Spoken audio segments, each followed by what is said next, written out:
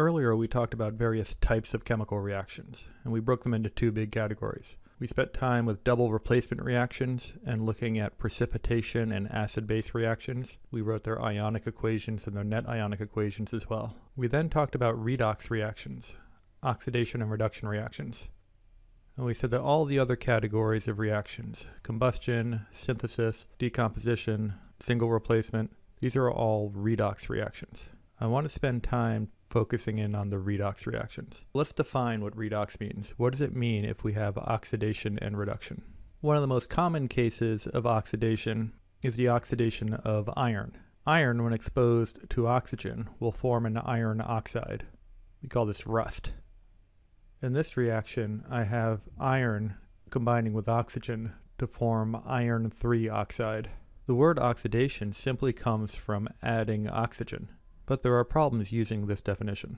First, it doesn't define reduction, it just says what oxidation is. And the term is oxidation and reduction. You have to have both present. It's not oxidation or reduction, or oxidation then sometimes reduction. It's oxidation and reduction. You can't have one without the other. It also doesn't explain this process.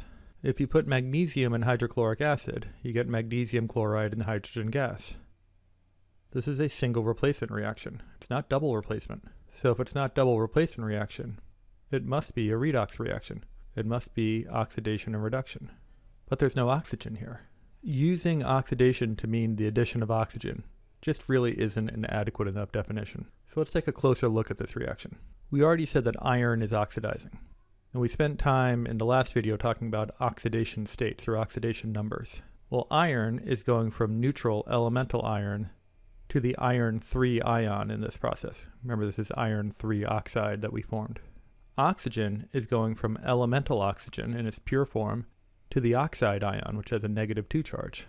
The oxygen is reducing here. So iron going from 0 to plus 3, that's oxidation.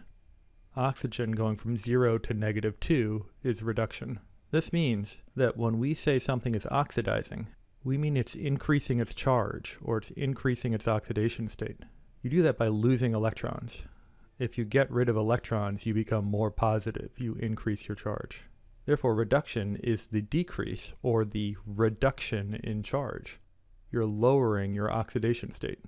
You do that by gaining electrons. So the process of oxidation and reduction means that one thing is losing electrons, another thing is gaining electrons, and the electrons are transferred from one to the other. That's the driving force behind these redox reactions, the transfer of electrons. Let's look at that other reaction we saw, where we put magnesium and hydrochloric acid. Magnesium is going from a neutral state to a positive 2 state in this process.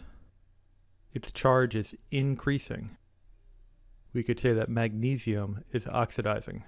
Hydrogen in the hydrochloric acid has a plus 1 charge, but as a product, it's in its elemental pure form, and so it has no charge. The charge is going down from a plus 1 to a 0.